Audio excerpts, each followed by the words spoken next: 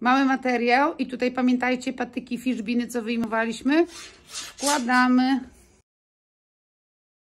Tutaj mamy dół rolety rzymskiej. To jest belka dolna, czyli ten obciążnik wkładamy przez otwór, który jest niezaszyty.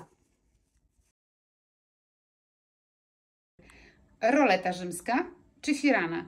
W kilku krokach pokazałam, jak to się robi. Zobaczcie.